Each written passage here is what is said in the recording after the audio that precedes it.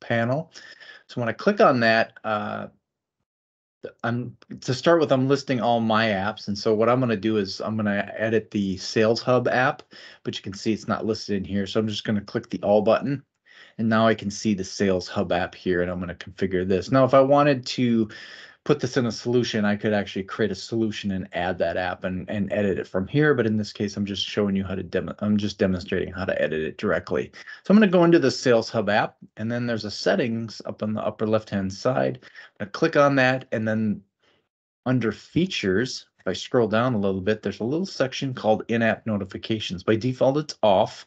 So when I turn that on and save it, that'll enable in-app notifications to be viewable for users within that app. So again, now I'm going to switch over to the Power Automate here. So I created a sample Power Automate flow here called Opportunity Status Changes. When I open this up, I'll show you what that looks like. I edit this. So it's pretty basic. All I'm doing is I click on this when a opportunity is modified, and then I have the column forecast categories, the field that's going to trigger this flow to run.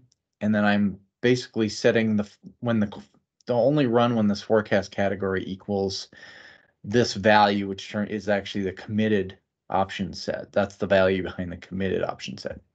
So that's going to trigger this flow to run.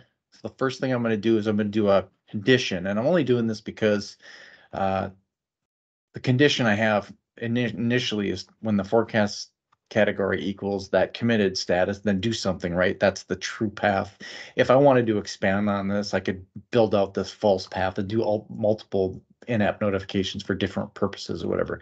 But this is pretty simple. I don't need to worry about that. But I put the condition in there so you can see that's an option you could take. So I'm going to close that. So now again, if the if if the forecast category changes and the forecast category is committed, I'm going to create a notification. So I'm going to click on that and all I'm doing is I'm creating a notification. I'm giving it the title called opportunity status change. And then in the body, I'm just something basic. I'm just saying the following opportunity and I'm entering in the opportunity ID value here has changed to committed. I did put an X expiration of 30 seconds. I'm sorry, 300 seconds, which is five minutes. By default, if you don't put anything there, I think it defaults to like 14 days. And then I'm assigning an owner. So in this case, I'm just saying system user, the owner ID of the, uh, the opportunity, which will be me when I run the test. Uh, you could obviously build up multiple uh, notifications for different different users if you want, things like that. But anyway, and then I just put a priority of high. So pretty basic flow just to kind of give you an idea what this how this works. So I'm going to close that and go back. So now I'm going to go into dynamics.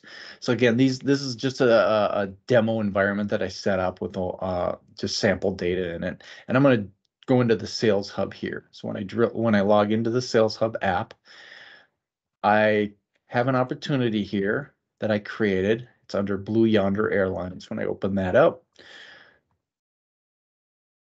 all I have this triggering on is this forecast category. As you can see, it's already set to committed. So I'm going to actually go to pipeline and save it. I'm going to actually reset it, whatever. You can kind of see I'm going to come back to this flow. You'll notice that it actually doesn't get triggered to run because it was there is a condition on that. See, it doesn't go.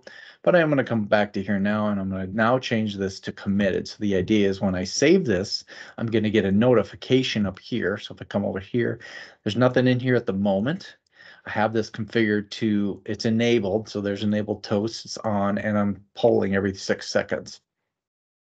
So by default, I'm expecting something to show up in there once I once I save this record. So I'm going to save it.